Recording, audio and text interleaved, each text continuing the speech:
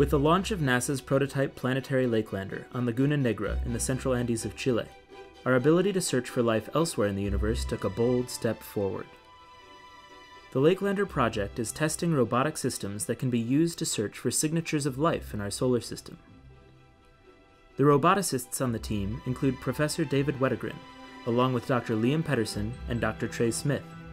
Pedersen and Smith are responsible for assembling and monitoring the Lake Lander and its sensing equipment. Professor Wettergreen is developing a smart camera. Well, this is a prototype for an underwater camera. Uh, we are uh, trying to get some close-up images of the very small organisms that live here in the lake. What will be interesting is when we start to automatically process those pictures.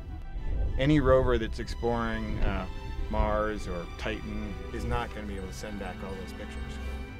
So where it gets interesting is what do we do with that visual information? How can we automatically analyze, find the one frame that's important, or maybe just a small portion of the image that's important, pick that out and send it back and say, this is what you should look at. That's what's on.